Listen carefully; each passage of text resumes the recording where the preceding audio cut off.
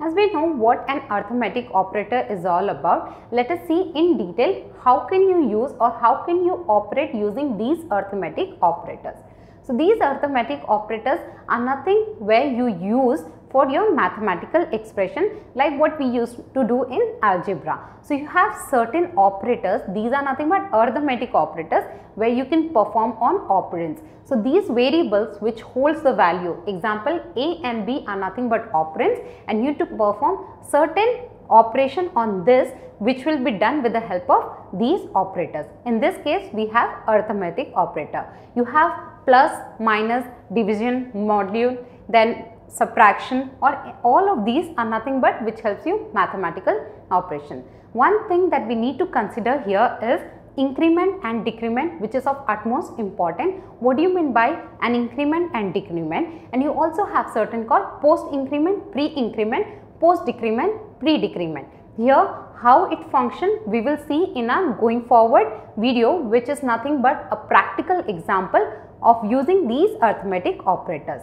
And these arithmetic operators we have created a program called class test and in the main method we have created certain variables a, B, C and D which hold certain values and then each of the operator are here used to explain in detail. We have taken a post increment, post decrement, increment and decrement always increments or decrements the value of the variable by 1. For an example here A is 10 then in case of post increment the value will become 10 plus 1 and in decrement it will become 10 minus 1. How a post increment pre increment works or how it differs from a post and a pre we shall see in a practical problem.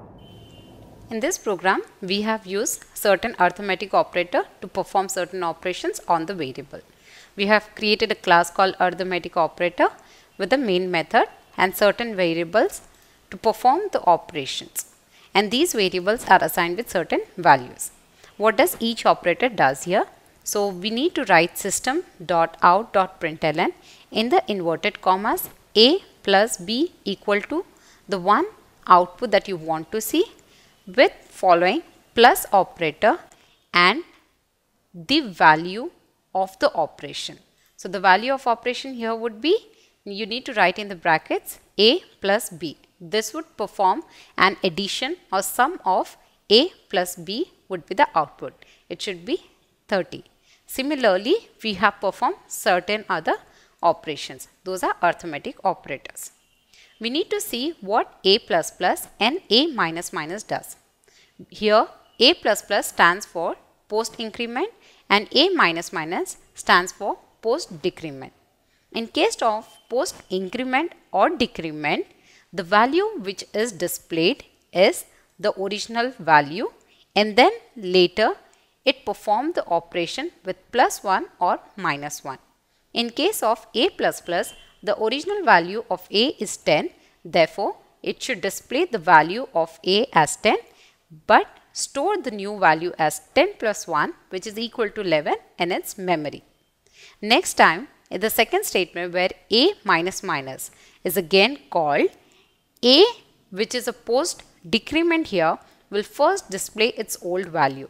The old value of A now is 11 and the new value would be 11 minus 1, 10. So, in the memory, A holds a value of 10 for now. In the next statement, D plus plus and plus plus D. As you know, D plus plus is post increment. What does plus plus D stands for? Plus plus D is pre-increment. What is the difference between a post and a pre-increment? Post increment first displays the value and then increment the value with plus 1 and store the new value in its memory. Whereas in case of pre-increment, it first increments the value and then display. So let us save this file and run Control S and F11.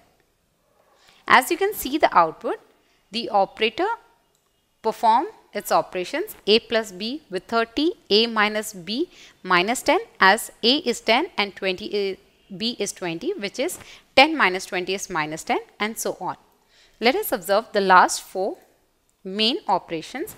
A plus plus, A value is 10. Therefore, being a post increment, it first displays the value. Next is A minus minus. It should again display the original value. The original value of A for now is 11. Therefore, it presents 11. D plus plus which is post increment again being a post increment it should first display its original value and the original value is 25. Next one is pre-increment. In case of pre-increment, first it increments the value of D with 1 and then display.